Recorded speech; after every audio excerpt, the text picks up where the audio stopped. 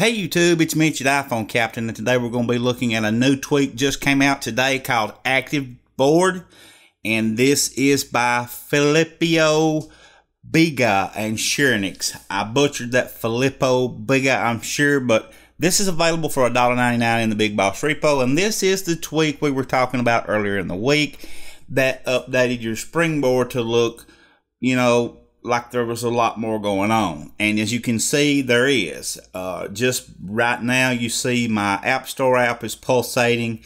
It has a little red ring around it. The Settings app has a little white ring around it. And let me tell you what that means. The little white ring means that that app is running in the background. So if I open up my app switcher and kill settings, now the little white ring will go away. And you see, we still have the red ring around App Store and Twitter because we have some notifications pending there, or we have an update in the App Store. That's why that is going on like it is. So if we want to come in here and open up Twitter and go through our notifications and, and, and get rid of all those, you know, read those, make sure everything is taken care of and then go back over and hit on the timeline and come back out, then you see it's now Twitter has the white ring because it's running in the background like settings was earlier.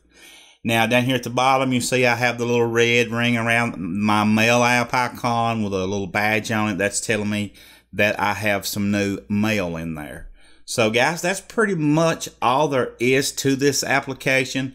If this is something you think you would enjoy, you can get it for $1.99 in Big Boss Repo. Check it out. It's pretty cool tweak. I think you'll enjoy it.